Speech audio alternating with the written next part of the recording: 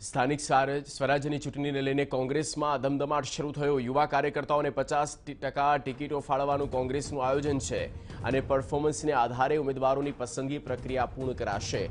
ચાલુ કોર્પોરેટરોએ કરેલી કામગીરીની સમીક્ષાના આધારે ટિકિટની ફાળવણી કરાશે. ઉમેદવારોની પસંદગીને લઈને કોંગ્રેસમાં ત્રીજા ચરણની પ્રક્રિયા શરૂ થઈ છે. પહેલા ચરણમાં ઉમેદવારો પાસેથી બાયોડેટા મંગાવવામાં આવ્યા. બીજા ચરણમાં ઉમેદવારોને બોલાવીને એમને સાંભળવામાં પણ આવ્યા. અને આગામી એક સપ્તાહમાં ઉમેદવાર પસંદગીની ત્રીજા ચરણની પ્રક્રિયા પૂર્ણ કરવામાં આવશે. સંવાદદાતા સચિન પાટીલ ફોનલાઈન પર. સચિન, સ્થાનિક સ્વરાજની ચૂંટણીને લઈને હવે કોંગ્રેસમાં અત્યારે કેવા પ્રકારની તૈયારી? ટિકિટ વાંચુકો માટે કેવા પ્રકારની વ્યવસ્થા? જગદીશ કારણ કે જે પ્રકારે ચૂંટણીની તારીખોનું એલાન કરવામાં આવ્યું છે, જે ચૂંટણી કમિશન દ્વારા જે પ્રકારે યાદી બહાર પાડવામાં આવી છે તે ચૂંટણીની તારીખો. ત્યારે કોંગ્રેસ પાર્ટી દ્વારા પણ જે છે એ તૈયારીઓ પૂર્ણ કરવામાં આવી રહી છે. આખરી ઓપ આપવામાં આવી રહ્યો છે. ત્રીજા ચરણની જે પ્રક્રિયા છે, એ પ્રક્રિયા એક અઠવાડિયાના સમય ગાળા દરમિયાન પૂર્ણ કરવામાં આવશે.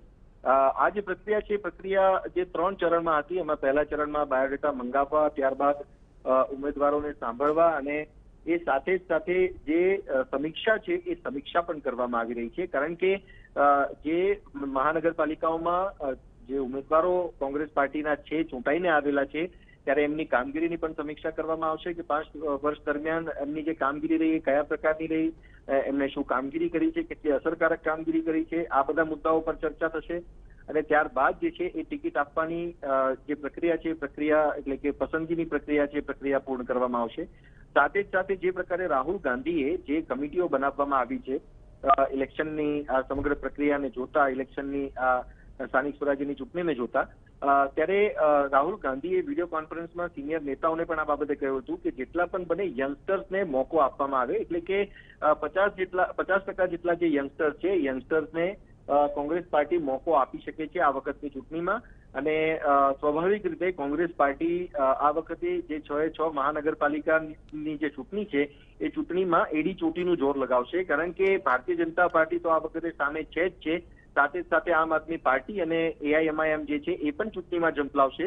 ત્યારે સ્વાભાવિક રીતે કોંગ્રેસ પાર્ટી માટે જે કોમ્પિટિશન છે, એ કોમ્પિટિશન અને સ્પર્ધા વધી જાય છે.